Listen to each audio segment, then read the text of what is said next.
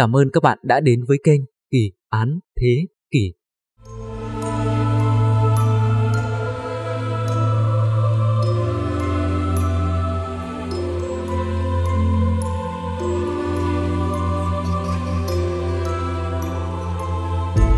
Kỳ án về Lauren, những túi xác chết trong thùng rác.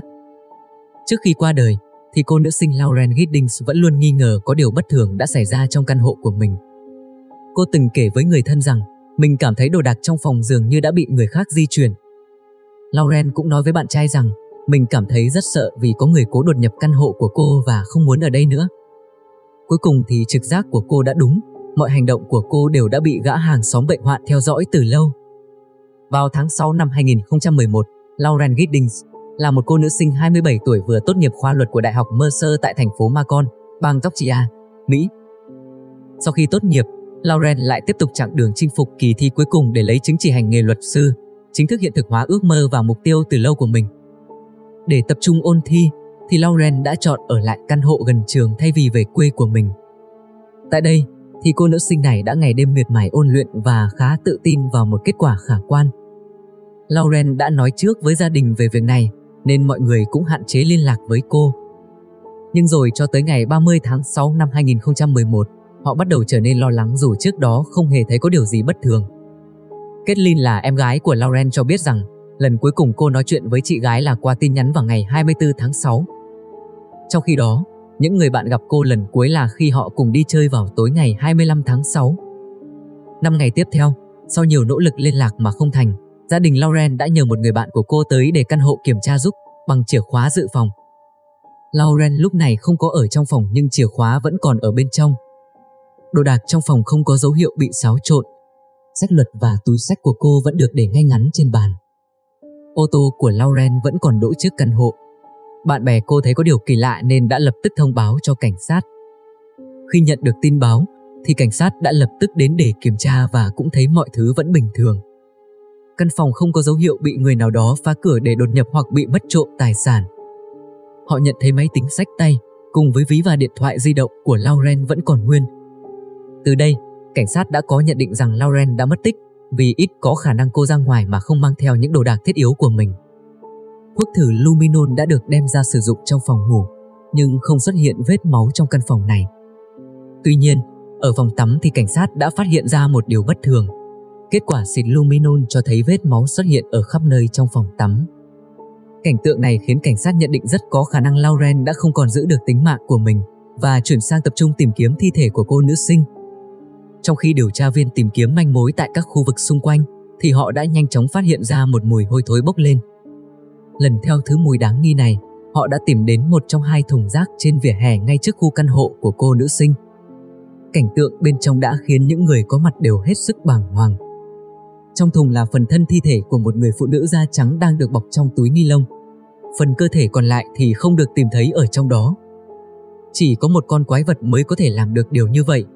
Nó vô cùng kinh khủng, một trong số những nhân chứng tại hiện trường lúc đó cho biết. Dù nghi ngờ đây chính là thi thể còn lại của Lauren, nhưng phải đến khi kết quả xét nghiệm ADN xác nhận rằng đây chính là xác của cô nữ sinh, thì cảnh sát mới chính thức thông báo cho gia đình của nạn nhân. Họ đã vô cùng sốc trước thông tin này. Việc phát hiện xác của nạn nhân được nhận định là rất may mắn vì cảnh sát đã kịp thời tới hiện trường chỉ vài phút trước khi xe rác tới. Xe của cảnh sát cũng ngẫu nhiên đỗ chắn thùng rác ở trước khu nhà nên nhân viên vệ sinh đã tạm bỏ qua. Nếu không có những điều may mắn này thì Lauren hiện vẫn bị coi là đang mất tích và việc tìm kiếm cùng với điều tra sẽ trở nên khó khăn hơn nhiều. Khu nhà nơi mà cô nữ sinh Lauren đang ở có 2 tầng và được chia thành 18 căn hộ. Lauren được nhận xét là cô gái hòa đồng và vui vẻ, cô không có gây thù chuốc quán với ai. Phần lớn hàng xóm đều khẳng định rằng mình không nhận thấy điều gì đáng ngờ trong khoảng thời gian Lauren biến mất. Tuy nhiên, tới lượt người hàng xóm có tên là Stephen 25 tuổi thì rất nhanh chóng cảnh sát đã phát hiện ra điều bất thường. Hắn ta không chỉ là hàng xóm mà còn là bạn học với Lauren từ năm thứ nhất ở trường luật. Bạn bè của họ cho biết rằng Stephen rất thích Lauren và từng đề nghị cô hẹn hò với hắn ta nhưng đã bị từ chối. Tuy đã bị từ chối, nhưng Stephen vẫn tỏ ra không có vấn đề gì. Hắn ta luôn vui vẻ và thân thiện với cô nữ sinh này. Khi dò hỏi Stephen thì cảnh sát nhận thấy nam thanh niên này dường như có thái độ sợ sệt và lảng tránh. Trong suốt cuộc phỏng vấn, thì hắn ta luôn cố gắng thể hiện hình ảnh của một người hàng xóm, một người bạn đã sốc tới mức trở nên quẫn trí trước sự biến mất của Lauren. Tuy nhiên, thay vì thực sự đau buồn hoặc lo lắng cho nạn nhân, thì Stephen lại có vẻ tập trung hơn cả vào việc khẳng định rằng bản thân mình không biết chuyện gì đã xảy ra với cô nữ sinh. Khi được cảnh sát thông báo về việc đã tìm thấy thi thể của Lauren trong thùng rác của tòa nhà, thì tinh thần của Stephen lúc này dường như trở nên suy sụp. Sau khi xin được lệnh khám, thì cảnh sát đã quay lại khu nhà và tiếp tục tìm kiếm chứng cứ của vụ án. Tại phòng giặt rũ chung thì họ đã tìm thấy một lưỡi cưa có dính máu. Kết quả xét nghiệm ADN cho thấy vết máu này là của nạn nhân Lauren Giddings. Cuối ngày hôm đó, cảnh sát đã khám xét căn hộ của Stephen.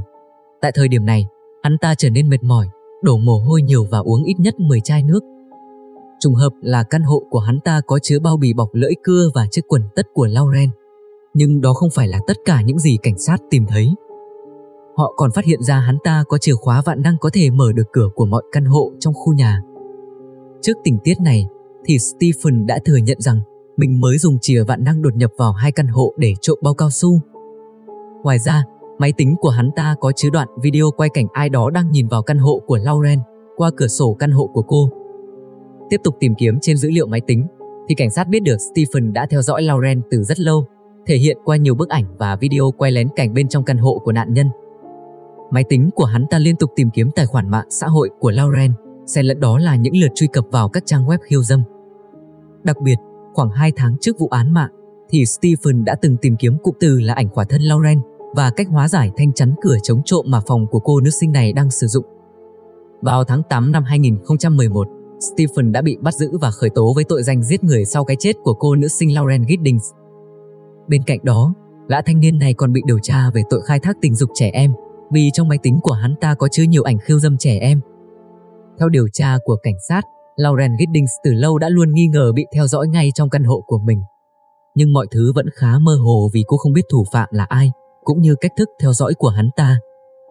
Cô từng kể với người thân về việc cảm thấy có người nào đó cố đột nhập vào căn hộ, cũng như đồ đạc trong phòng dường như đã bị ai đó di chuyển, không còn ở vị trí cũ. Gần ngày biến mất và bị sát hại, Lauren đã nhắc lại chuyện này với bạn trai và nói cô cảm thấy rất sợ, đồng thời không muốn ở đây nữa.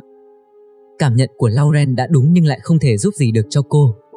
Stephen đã lén theo dõi nạn nhân trong thời gian dài làm hàng xóm của cô. Theo công tố viên, động cơ gây án xuất phát từ sự ám ảnh của Stephen đối với Lauren. Sau khi bị bắt, thì hắn ta tỏ ra không hợp tác với cảnh sát.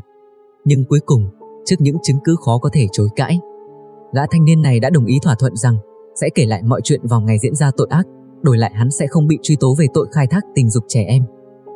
Stephen từ đó đã kể lại chi tiết cách hắn ta theo dõi Lauren, thậm chí quay lại những đoạn video về cô qua cửa sổ tại căn hộ tầng 2 bằng một chiếc máy quay nhỏ được gắn vào một cây gậy dài.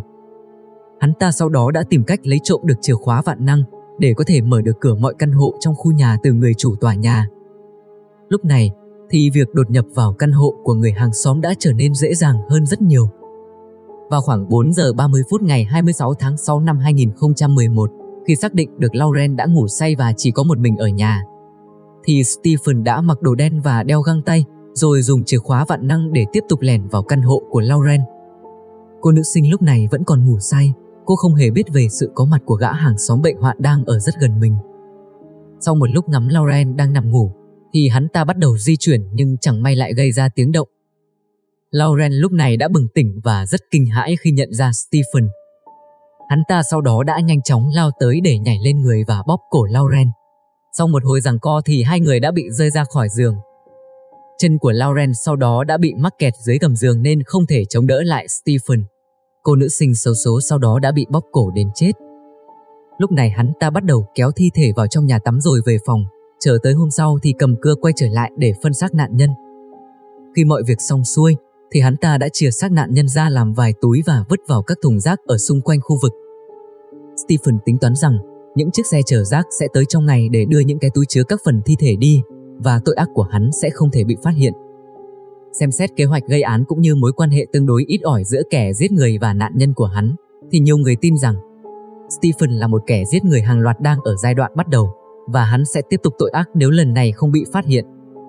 Vào tháng 4 năm 2014, Stephen đã lĩnh án trung thân cho những tội ác kinh hoàng mà hắn đã gây ra.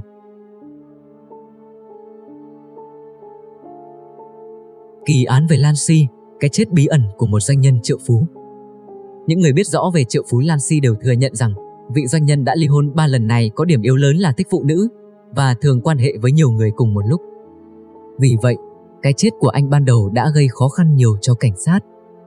Vào ngày 9 tháng 8 năm 1996, doanh nhân 41 tuổi Lan Si được tìm thấy đã chết trên giường tại ngôi nhà cao cấp ở thành phố Roswell, New Mexico, Mỹ.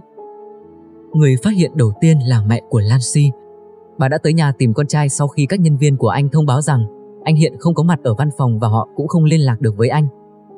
Lan Si đã được tìm thấy trong tình trạng không mảnh vải che thân trong phòng ngủ của anh. Kết quả khám nghiệm tử thi cho thấy rằng nạn nhân ban đầu đã bị một cú đánh vào phía sau đầu nhưng không gây tử vong, mà chỉ có thể làm anh mất phương hướng. Anh đã chết vì bị hung thủ đập mạnh nhiều nhát là vào chán, cùng với đỉnh đầu và bên phải, khiến cho khuôn mặt của nạn nhân đã bị biến dạng. Tay của nạn nhân không có vết thương do tự vệ và dưới thắt lưng có dính một ít máu. Ví và thẻ tín dụng vẫn còn nguyên, nhưng bộ quần áo của anh mặc vào đêm hôm trước đã biến mất. Cảnh sát sau đó đã đặt ra giả thuyết rằng hung thủ đã trèo lên cơ thể trần chuồng của nạn nhân, sau đó trói nạn nhân lại rồi đánh vào đầu và mặt của anh. Hiện trường không có dấu hiệu bị đột nhập, cũng không có bằng chứng cho thấy kẻ giết người đã đi tắm nhằm để xóa dấu vết trước khi rời đi. Ba chiếc đồng hồ trong phòng ngủ đã được ai đó rút phích cắm, một chiếc trong đó đã dừng lại lúc 4 giờ 10 phút vào ngày mùng 9 tháng 8. Cảnh sát sau đó đã phát hiện một giấy gói kẹo cao su màu vàng ở gần gara. Chiếc máy tính sách tay của Lancy cũng đã bị mất. Và bức ảnh người bạn gái hiện tại tên là Cathy Colin được đặt ở đầu giường đã bị úp mặt xuống. Chuyên viên giám định nghiên cứu các vết thương đã kết luận hung khí sát hại Lancy là một chiếc cờ lê đa năng. Các thám tử sau đó phát hiện ra rằng một chiếc cờ lê tương tự dài khoảng 40cm trên bàn thao tác cơ khí của nạn nhân đã biến mất. Không lâu trước khi bị sát hại, thì nạn nhân đã sử dụng cờ lê để lắp ghép các thiết bị tập thể dục. Cảnh sát tin rằng cái chết của Lancy có thể không được tính toán từ trước mà nó xuất phát trong cơn giận dữ. Vào những năm 1990, Lancy hơn đông được biết đến là một triệu phú công nghệ có tiếng tăm ở thành phố Atlanta, bang Georgia. Anh đã sáng lập và là CEO của một công ty tư vấn máy tính và được ca ngợi là một ngôi sao doanh nhân đang lên. Lancy còn trở thành quý ông độc thân sáng giá trong mắt của nhiều người phụ nữ thường xuyên góp mặt trong các cuộc vui ở câu lạc bộ và tiệc tùng. Song song với những ánh hào quang rực rỡ ấy, thì cuộc sống của Lan Si cũng có mặt tối. Những người biết rõ về anh đều thừa nhận rằng vị doanh nhân đã ly hôn ba lần này có hai điểm yếu lớn. Đó là Lan Si rất thích phụ nữ và thường quan hệ với nhiều người cùng một lúc. Ngoài ra, Lan Si rất thích chi tiền cho bản thân và cho những người phụ nữ xuất hiện trong cuộc đời của mình. Từ đây, các thám tử đã bắt đầu lên một danh sách những người vợ cũ cùng với các người tình phức tạp của Lancy để tiến hành thẩm vấn từng người. Cathy Colin, bạn gái hiện tại của triệu phú Lancy là người đầu tiên cảnh sát thẩm vấn. Tại hiện trường, thì cảnh sát đã tìm thấy bức ảnh của Cathy trong tình trạng bị úp mặt xuống ở đầu giường, nơi mà Lancy đã bị sát hại. Tuy nhiên, người phụ nữ này đã cung cấp bằng chứng ngoại phạm cho thấy vào thời điểm xảy ra vụ án mạng, thì cô đang cặp kè với một người bạn trai khác. Sau khi xác nhận lời khai này, thì thám tử đã loại trừ Cathy ra khỏi danh sách tình nghi của vụ án. Vợ cũ của Lancy là Jeanine Price cũng được đưa vào diện nghi vấn. Theo điều tra viên, thì hai người vừa ly hôn và Lancy có hợp đồng bảo hiểm nhân thọ trị giá 1 triệu đô la Mỹ.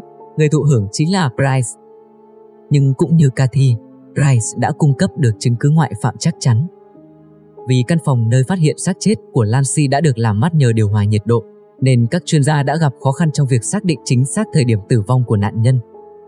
Dựa vào kết quả khám nghiệm tử thi, bác sĩ ước tính Lam Si đã chết khoảng 6 đến 8 giờ trước khi thi thể của anh được phát hiện vào lúc 10 giờ sáng.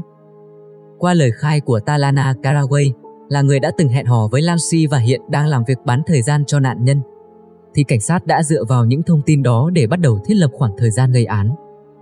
Talana đã tan làm và rời khỏi văn phòng ở nhà Lancy lúc 22 giờ 30 phút vào tối ngày 9 tháng 8 năm 1996. Sau khi về đến nhà, thì cả hai đã nói chuyện điện thoại đến nửa đêm. Các thám tử đặt giả thuyết vụ án xảy ra trong khoảng từ 0 giờ đến 4 giờ 10 phút, theo thời gian dừng lại trên đồng hồ điện tử ở phòng ngủ của nạn nhân.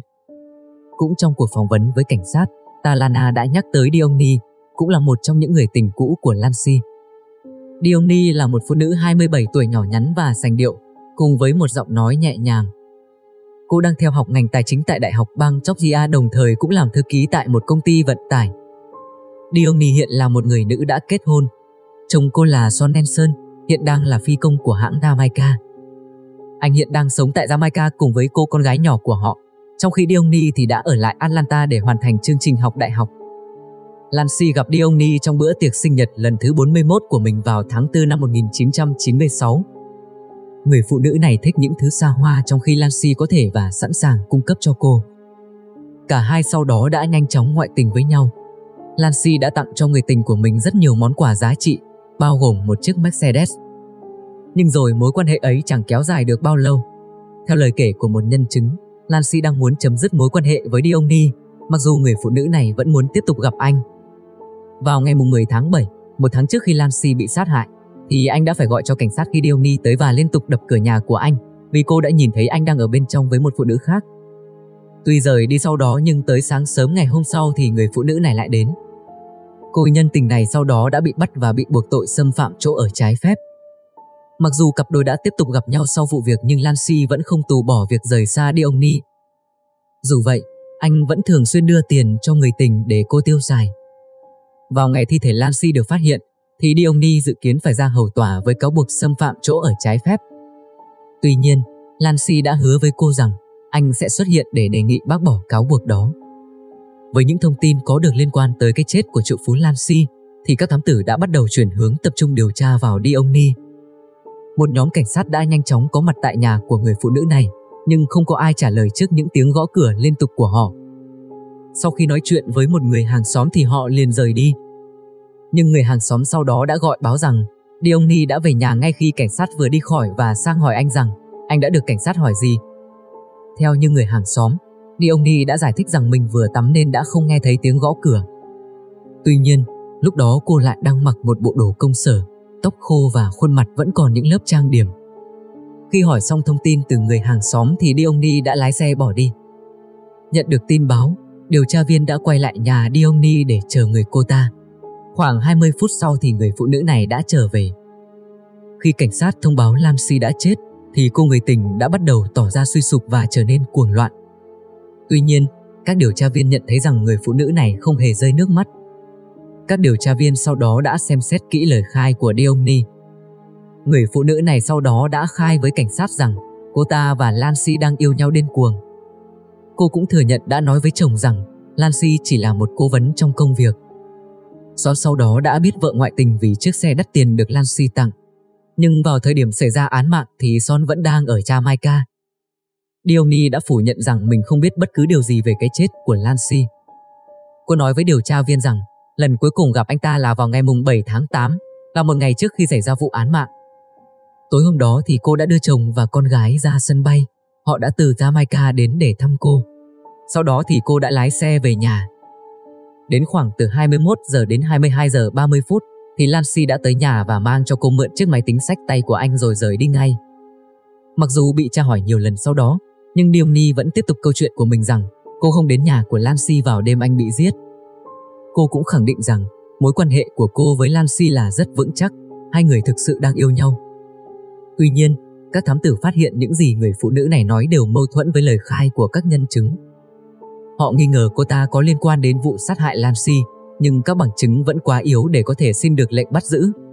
Dù vậy, họ vẫn luôn để mắt đến người phụ nữ này 18 tháng cứ thế trôi qua mà cảnh sát vẫn không có manh mối mới để tìm ra lời giải cho vụ án. Cuối cùng, vào tháng 1 năm 1998, cảnh sát đã có được thông tin mà họ đang tìm kiếm khi Diony và chồng của mình đang tiến hành thủ tục ly hôn. Theo đó, Diony đã nói chuyện với mẹ chồng của cô là Barbara Nelson vào vài tuần sau vụ giết người. Trong cuộc trò chuyện đó, thì Diony thừa nhận đã mình đến nhà của Lancy vào đêm anh bị giết, dù trước đó cô ta luôn khẳng định với cảnh sát là không có. Ngoài ra, John Nelson cho biết rằng trong lúc tranh cãi gay gắt vào vài tháng trước đó thì anh đã hỏi liệu Diony có liên quan đến cái chết của Lancy hay không. Cô ta sau đó đã lập tức trở nên hung hăng. Người phụ nữ này đã đe dọa giết John giống như cách mà cô đã làm với Lancy. Trong phiên tòa giải quyết vụ ly hôn, Diony lại đưa ra lời khai hoàn toàn trái ngược với những gì đã nói với các thám tử trước đó. Cô ta thề rằng mình và Lancy chỉ là bạn. Diony cũng nói vào đêm ngày 9 tháng 8 thì cô ta đã đến nhà Lancy để lấy máy tính sách tay. Tuyên bố này cho thấy cô ta đã có mặt tại hiện trường của vụ án. Vào năm 1998, cảnh sát đã bắt đi ông Ni với cáo buộc sát hại và hành hung, cùng với hai tội trộm cắp và gian lận thẻ giao dịch tài chính. Theo nhận định của cơ quan công tố, triệu phú Lan Si đã muốn chấm dứt mối quan hệ với Diony. Si đã nói với vài người bạn của mình rằng anh cảm thấy mệt mỏi với hành vi kiểm soát hay bị ám ảnh của Diony và luôn muốn thoát khỏi cô nhân tình này. Cô ta lúc này cũng nhận thấy ý định của Lan Si. Theo công tố viên, sự kết hợp của nỗi tức giận và lòng tham đã thúc đẩy hành vi của người phụ nữ này. Theo đó, Diony đã đến nhà Lancy vào khoảng nửa đêm ngày 8 tháng 8 năm 1996.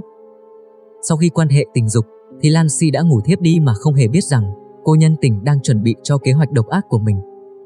Diony sau đó trèo lên người của Lancy, rồi trói anh lại và đánh nạn nhân bằng một chiếc cờ lê. Sau khi giết Lancy, thì Diony đã đi tắm để rửa sạch máu của nạn nhân, sau đó lấy đồ trang sức và một chiếc thẻ tín dụng của anh. Tiếp theo, cô ta đã rút đồng hồ báo thức của nạn nhân để chúng không hoạt động, nhằm tránh thu hút sự chú ý khi các nhân viên của Lancy đến để làm việc tại tầng dưới của ngôi nhà vào khoảng 7 giờ 30 phút.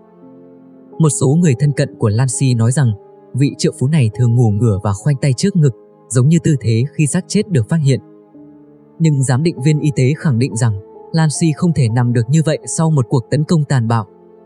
Chắc chắn ai đó biết rõ thói quen của Lancy và đặt anh trong tư thế này với mục đích đánh lạc hướng cảnh sát. Trước khi rời khỏi nhà, thì Diony đã cẩn thận bước xuống tầng dưới, sau đó đi đến văn phòng làm việc của nạn nhân và lấy đi chiếc máy tính sách tay. Mặc dù trước đây Lancy từng vài lần cho Diony mượn máy tính, nhưng theo các đồng nghiệp thì tính của cô ta khá cẩn thận và tỉ mỉ. Người phụ nữ này sẽ không bao giờ để chiếc máy tính rời khỏi văn phòng mà không có túi bảo vệ. Chiếc túi này sau đó đã được phát hiện trong tủ đựng đồ tại văn phòng của cô ta. Sau nhiều tháng điều tra, nhưng đồ trang sức và vũ khí giết người vẫn không được tìm thấy. Điều tra viên đã đặt ra giả thuyết rằng Diony đã vứt bỏ hết những thứ đó khi đang đi trên đường rời khỏi đây. Các công tố viên cũng chỉ ra bằng chứng pháp y cho thấy rằng Diony có liên quan tới vụ án mạng. Các mẫu tóc của cô ta trùng khớp với những sợi lông tương tự được tìm thấy trên giường của Lancy. ADN được tìm thấy dưới móng tay của Lancy cũng thuộc về Diony. Hai vỏ kẹo cao su nhàu nát được tìm thấy tại nhà nạn nhân giống với loại kẹo sau đó được tìm thấy trong ví của cô ta. Cảnh sát biết rằng Lancy thực sự đang ở nhà anh lúc 21 giờ ngày 8 tháng 8. Lịch sử cuộc gọi cho thấy anh đã thực hiện và nhận các cuộc điện thoại liên tục trong suốt buổi tối, trong đó có cuộc gọi cho Diony vào lúc 22 giờ 53 phút. Trong khi đó, Diony khai rằng Lancy đã đến nhà mình khoảng 20 phút để cho mượn máy tính. Các dòng thời gian này không hề trùng khớp với nhau. Từ tất cả những bằng chứng có được, công tố viên cáo buộc Diony đã lên kế hoạch giết hại người tình là triệu phú Lancy. Tuy nhiên, các luật sư của cô ta đã nhanh chóng phủ nhận cáo buộc này. Họ chỉ ra rằng hầu hết các bằng chứng phía công tố đưa ra đều nhằm chống lại thân chủ của họ chỉ là các tình tiết tự suy đoán. Mặc dù thừa nhận rằng Diony không phải lúc nào cũng trung thực với cơ quan điều tra, nhưng các luật sư cũng nhấn mạnh phía công tố không thể đưa ra chứng cứ cụ thể ngoài sự nghi ngờ Diony là kẻ giết người. Luật sư bảo chữa đã bác bỏ giả thuyết rằng Diony đã tức giận với Lancy vì anh đang có ý định rời bỏ cô. Họ nói rằng dù một tháng trước khi Lancy bị sát hại, thì anh đã phải gọi cho cảnh sát khi Diony tới và liên tục đập cửa nhà. Vì nhìn thấy anh ở bên trong với một phụ nữ khác, nhưng sau đó hai người vẫn tiếp tục giữ mối quan hệ. Ngoài ra, luật sư bảo chữa còn nói thêm rằng Lancy chính là người đã bảo lãnh cho Diony vào ngày hôm sau. Anh còn hỗ trợ người tình tìm luật sư và thậm chí còn gọi cho cảnh sát để cố gắng giảm nhẹ cáo buộc. Hành động này của Lancy không cho thấy việc anh đang cố gắng tạo khoảng cách với người tình của mình. Họ cũng không đồng ý với quan điểm của công tố rằng bằng chứng pháp y là bằng chứng mạnh mẽ chống lại Diony. Theo đó, các kỹ thuật viên hiện trường vụ án cũng tìm thấy những sợi tóc không phải của Diony hay Lancy và cũng chẳng biết nó thuộc về ai. Một số bằng chứng khác như vỏ kẹo cao su xuất hiện tại hiện trường vụ án là quá chung chung, nó khá mơ hồ để có thể ràng buộc sự liên quan đến thân chủ của họ. Tại phiên tòa năm 2001, trước những lập luận của luật sư bảo chữa, các công tố viên đã gặp khó khăn vì vụ án này chỉ có bằng chứng gián tiếp Luật sư bảo chữa cũng cho rằng vết máu của nạn nhân không được tìm thấy trên bất kỳ bộ quần áo nào của Diony và cả trong nhà riêng của cô. ADN được tìm thấy dưới móng tay của Lancy được xác định là của Diony, nhưng điều này không có gì phải ngạc nhiên vì hai người thường xuyên quan hệ tình dục với nhau. Ngay cả khi Diony có đến nhà Lancy vào đêm anh bị sát hại và quan hệ tình dục, thì điều đó cũng không có nghĩa là cô đã giết anh hoặc có mặt khi anh chết. Cuối cùng, thẻ tín dụng mà Diony đang sử dụng chỉ là một trong nhiều chiếc thẻ mà Lancy đã đưa cho những người bạn gái mà anh đang hẹn hò. Nhưng cuối cùng sau nhiều giờ cân nhắc, thì bồi thẩm đoàn đã tuyên Diony tội giết người và phải đối mặt với bản án tù trung thân. Nhưng vào hai năm sau, thì vụ án đã được lật lại vì có sự sai sót trong lời khai của một sĩ quan cảnh sát. Sau phiên tòa kéo dài 2 tuần, vào tháng 9 năm 2004, thì Diony được đưa ra xét xử lần thứ ba và đã nhận tội danh ngộ sát. Người phụ nữ này sau đó đã bị kết án 10 năm tù và 10 năm quản chế sau khi ra tù. Cô ta đã được trả tự do vào tháng 7 năm 2011.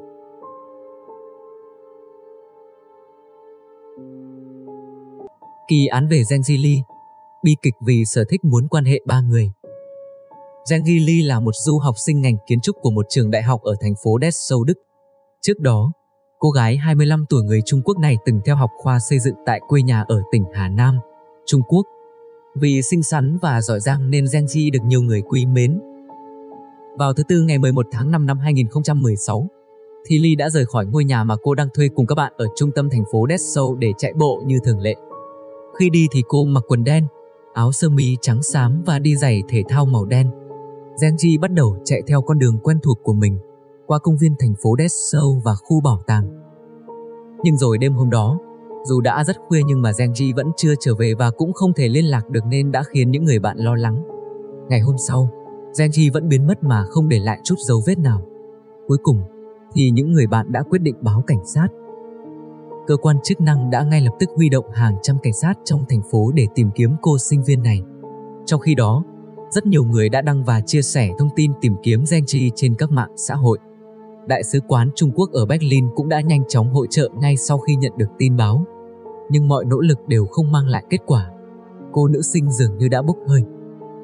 Hai ngày sau, vào ngày 13 tháng 5, cuộc tìm kiếm của cảnh sát tập trung xung quanh nhà hát An Há và khu vực Friedensplatz Cuối cùng, họ phát hiện ra một thi thể phụ nữ khỏa thân trong một bụi cây gần Friedensplatz. Nạn nhân có những vết thương nghiêm trọng trên đầu và khuôn mặt bị hủy hoại đến mức không thể nhận dạng ngay. Khám nghiệm tử thi cho thấy nạn nhân bị đánh mạnh vào đầu, thân và chân tay, còn hộ sọ thì bị vỡ. Ngày hôm sau, kết quả phân tích ADN xác nhận thi thể này chính là cô nữ sinh Zengi đang mất tích. Các chuyên gia đồng thời tìm thấy dấu vết ADN thuộc về người khác trên cơ thể của Zengi có dấu hiệu cho thấy nạn nhân đã bị xâm hại và phải trải qua một trận bạo hành khủng khiếp trước khi chết. Mẫu ADN lạ sau đó được chuyển đến văn phòng cảnh sát hình sự liên bang để đối chiếu trong cơ sở dữ liệu. Tuy nhiên, cơ quan chức năng không tìm thấy sự trùng khớp nào. Sau khi thông tin về vụ án mạng được công bố, hàng trăm sinh viên và người dân địa phương đã tổ chức diễu hành để đòi công lý cho Giang Chi. Vào ngày 23 tháng 5 năm 2016, 12 ngày sau khi Giang Chi Lee bị sát hại dã man, thì một cặp đôi trẻ người địa phương tên là Sebastian 20 tuổi, và Senia 20 tuổi đã chủ động tới đồn cảnh sát để cung cấp thông tin. Hai người nói rằng, mẫu ADN được tìm thấy trên thi thể của nạn nhân có thể đến từ họ bởi cả hai đã gặp Genji vào đêm trước khi cô mất tích và bị sát hại. Senia khai rằng, vào tối ngày 10 tháng 5 thì tình cờ gặp Genji và đề nghị cô nữ sinh tham gia trò quan hệ tình dục ba người trong căn hộ chung cư của họ. Nơi này gần vị trí tìm thấy thi thể. Senia khẳng định rằng, Genji đã đồng ý và đi theo cô. Sau khi xong xuôi thì Genji đã rời đi. Cả hai tuyên bố không rời khỏi căn hộ sau cuộc gặp với Genji.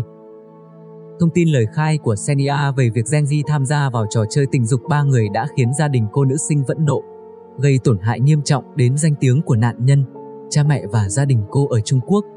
Trong quá trình điều tra, cảnh sát đã phát hiện lời khai của Senia mâu thuẫn với thông tin do các nhân chứng khác cung cấp. Theo như những người bạn sống cùng Genji, thì cô nữ sinh không hề rời ký túc xá vào tối ngày 10 tháng 5, nên sẽ không thể có chuyện Senia gặp và rủ cô tới căn hộ của mình. Trong khi cả hai phủ nhận mọi liên quan đến cái chết của Genji, thì cảnh sát đã có kết quả đối chiếu ADN cho thấy mẫu lạ trên cơ thể nạn nhân chính là của Sebastian. Cặp đôi Sebastian và Senia được xác định là nghi phạm chính và ngay sau đó đã bị bắt giữ. Lúc này, cơ quan chức năng cũng phát hiện được rằng mẹ và bố dượng của Sebastian đều là cảnh sát một trong hai còn tham gia vào quá trình điều tra sơ bộ của vụ án.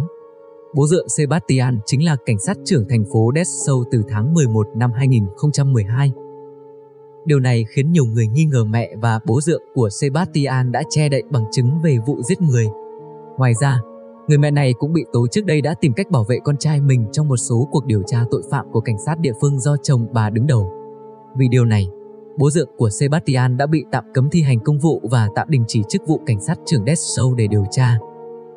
cảnh sát sau đó thu được một đoạn video giám sát ở nơi mà Senia nói rằng đã gặp nạn nhân. Theo đó, vào tối ngày 11 tháng 5, Senia đã gặp Zengi trước tòa nhà. Hai người nói chuyện với nhau một lúc rồi Zengi đi theo Senia vào tòa nhà. Nhưng camera giám sát không ghi lại cảnh Zengi trở ra. Khám xét căn hộ của Sebastian và Senia, thì cảnh sát cũng tìm thấy rất nhiều vết máu. Dù vậy, Sebastian và Senia vẫn khăng khăng phủ nhận mọi cáo buộc và không nói bất kỳ điều gì. Nhưng rồi sau một thời gian, thì Senia bất ngờ khai nhận sự việc. Senia cho biết trước khi gặp Sebastian, cô ta đã có một con với người bạn trai cũ nhưng sau đó thì hai người đã chia tay. Chung sống với Sebastian, thì cô đã có thêm hai đứa con với anh ta. Nhưng rồi gần đây, Sebastian lại muốn quan hệ tình dục với ba người. Anh ta đe dọa rằng sẽ rời bỏ cô nếu cô không tìm người thứ ba để thỏa mãn yêu cầu bệnh hoạn của mình. Không muốn mất Sebastian, nên Senia đã không ngừng nghĩ cách để níu kéo. Tối ngày 11 tháng 5 năm 2016, khi cô nữ sinh Zhang Yili đang chạy bộ về nhà thì tình cờ gặp Senia. Cô ta đã nhờ Zhang Chi giúp mình chuyển những chiếc hộp vào nhà. Giang Chi đã vui vẻ giúp đỡ mà không hề biết rằng đó chỉ là một cái bẫy mà Senia sử dụng để lừa cô lên nhà. Sebastian lúc đó đã nấp sẵn ngay sau cánh cửa. Ngay khi Genji vừa bước vào, thì gã đàn ông này nhanh chóng đóng chặt cửa và lao vào tấn công cô. Genji đã dùng hết sức chống lại hai kẻ lạ mặt nhưng vô ích. Những gì diễn ra tiếp theo vô cùng khủng khiếp với cô nữ sinh người Trung Quốc. Sebastian và Senia đã kéo cô vào trong một phòng trống. Tại đây, nạn nhân đã bị hãm hiếp và tra tấn trong nhiều giờ. Senia đã làm theo mọi mệnh lệnh của bạn trai. Người phụ nữ này cũng tham gia vào vụ tấn công và cưỡng hiếp Gentili. Cuối cùng, cô ta để Sebastian và nạn nhân ở lại với nhau và tới chỗ các con của mình. Tại tòa, công tố viên cáo buộc Sebastian đã quyết định giết Gentili để ngăn chặn việc cô tố cáo hành vi phạm tội tình dục của mình. Hắn ta đã sát hại cô nữ sinh bằng một lực mạnh. Xong xuôi, thì Sebastian đã nói với Senia về tội ác vừa thực hiện. Người phụ nữ này liền giúp bạn trai phi tang xác của nạn nhân. Trong phiên tòa xét xử cuối cùng, Sebastian đã bị kết án tù trung thân vì tội cưỡng hiếp và sát hại Genji. Do ở nước Đức không có án tử hình, nên đây là bản án cao nhất dành cho Sebastian. Vì tính chất nghiêm trọng của vụ án nên tòa đã ra phán quyết rằng Sebastian không thể xin ân xá sau 15 năm như quy định. Đối với Senia, thì giám định viên tâm thần đã cho rằng bị cáo có tâm trí chưa trưởng thành. Dựa trên những lời thú tội của Senia và bằng chứng trong quá trình điều tra, thẩm phán đã đưa ra phán quyết hơn 5 năm tù dành cho Senia. Ngoài ra, Sebastian và Senia phải bồi thường 60.000 euro khoảng 1,4 tỷ đồng là chi phí tổn thất tinh thần cho bố mẹ nạn nhân. Ngay sau bản án, luật sư bảo chữa cho Sebastian cũng như cha mẹ của nạn nhân đều tuyên bố rằng họ không đồng ý mức án này và kháng cáo. Tuy nhiên, cả hai bản kháng cáo sau đó đều bị tòa án bác bỏ vào năm 2018. Cảm ơn các bạn đã ủng hộ kênh Kỳ án Thế kỷ. Nếu thấy hay thì ủng hộ mình bằng cách like và đăng ký kênh giúp mình nha. Video có thể còn nhiều thiếu sót, mong mọi người có thể đóng góp bằng cách bình luận ngay dưới video giúp mình nhé.